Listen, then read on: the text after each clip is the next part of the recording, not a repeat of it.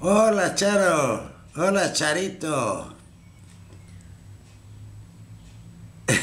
Háblale, después te va a ver. ¿Cómo? ¿Y se oye eso? Claro, No. sí. ¿Y dónde trabaja? ¿Y dónde vive? Y en Ponferrada vive. Ah. Ponferrada. Para eso estar- hay que estar un poquito arreglado. Claro. ¿Qué le vas a mandar? Yo se lo voy a mandar esto. Así que decirle lo que le quieras decir. No, no, no, no. ¿Por qué no? Hay que estar en onda, nena, para. para todo. Ala, listo, corta.